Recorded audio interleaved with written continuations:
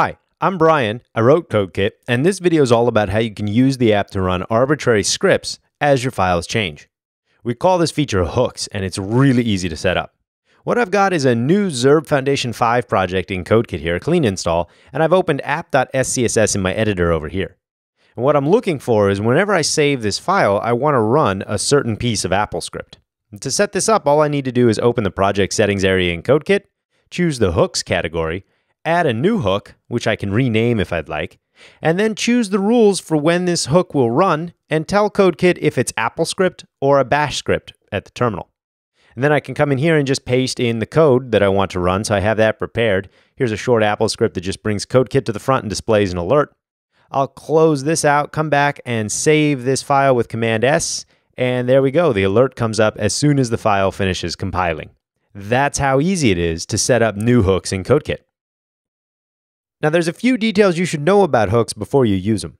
For starters, AppleScript based hooks are always executed on CodeKit's main thread because AppleScript itself is not thread safe.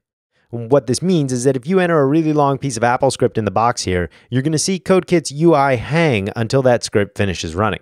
Now, that's normal, you're not doing anything wrong, just be aware of it. Shell scripts, on the other hand, are executed on a background thread, so the UI should remain responsive the entire time they're running. Next up, be aware that hooks run with the privileges of the current user. And most of us use admin level accounts, so your hooks are going to run with admin level privileges.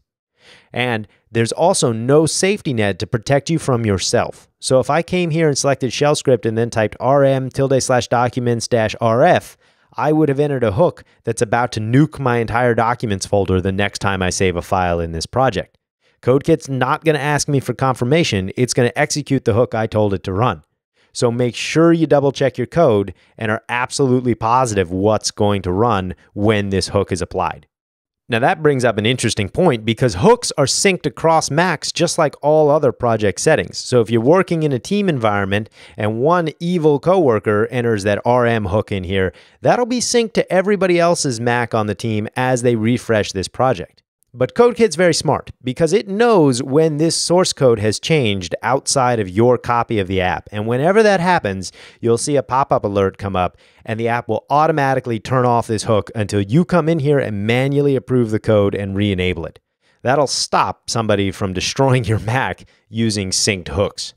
Finally, when your project uses hooks, you need to be a little careful. First, don't press Command S five times in two seconds because that'll cause CodeKit to dispatch your hooks over and over and over again and can lead to instability. And secondly, if your hook has any kind of problem or throws an exception, it's likely going to crash CodeKit along the way.